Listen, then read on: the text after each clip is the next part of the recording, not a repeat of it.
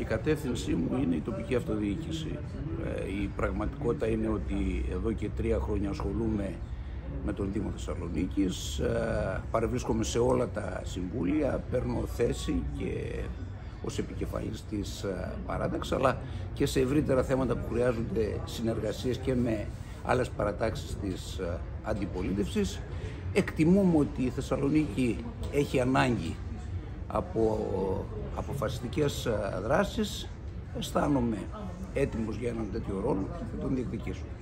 Επειδή οι εθνικές 100% θα προηγηθούν ε, των αυτοδιοικητικών, αυτό θα απέκλειε μια βουλευτική υποψηφιότητα δικιά σας; Καταρχήν δεν ασχολούμαι αυτή τη στιγμή με τα ε, πολιτικοκομματικά. Τα παρακολουθώ βέβαια ένα πρόσωπο που είναι αρκετές δεκαετίες ε, σε πολιτική δράση δύσκολα φεύγει απ' έξω αλλά δεν υπάρχει αυτή τη στιγμή στη σκέψη μου κάποια ιδιαίτερη κίνηση.